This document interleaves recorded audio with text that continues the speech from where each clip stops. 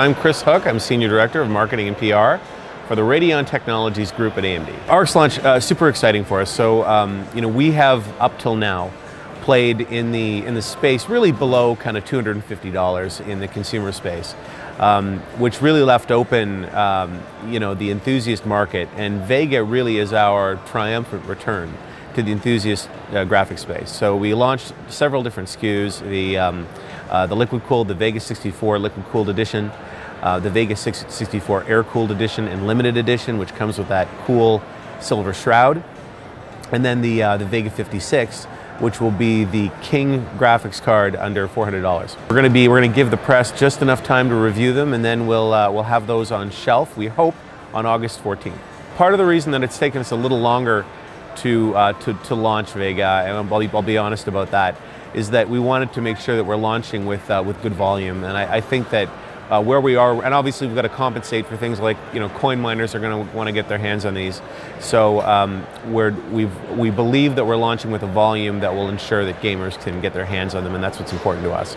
Um, the Nano is a 150 watt part, that's TGP, so GPU and memory. Uh, goes up from there. The um, uh, the, the Vega 56 is 165 TGP. The um, Vega 64 is 220 TGP. And then the liquid cooled is kind of in the 3 to 400 uh, watt range.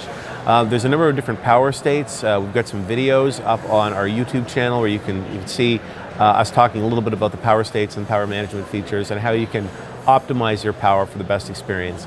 But I would remind uh, viewers that power really depends on what you're doing with it. If you're playing an esports title, it's not going to suck, suck, a lot of juice. If you're playing uh, a really intensive AAA title or you're doing VR, then that's, that's going to definitely suck more. HBCC, our high bandwidth uh, uh, cache controller, a high bandwidth cache, includes 8 gigs of HBM2 uh, memory. And, um, and this, um, you, you know, this is something, this is technology that really is plucked from you know, $9,000 graphics cards that today live only in the, um, uh, in the, in the compute space. So this is going to give developers uh, really a chance to build really uh, big worlds with you know lots of textures that run really fast. Another technology is FP16. This is FP16, uh, which we call Rapid Packed Math its entry into the enthusiast class gaming space. And this means that developers can render scenes that maybe don't require full precision, but look the same uh, in half precision, therefore uh, doubling the effective speed of certain effects. And that will uh, create an overall increase in performance. The single card, um, 56, is 399. The Vega 64 single card is $499 the Vega 64 bundle, which includes a Ryzen 7 processor, $100 off, a Ryzen 7 processor, and X370 motherboard bundle, $200 off an amazing Samsung 3, uh, ultra wide FreeSync monitor, and two great games, Prey and Wolfenstein.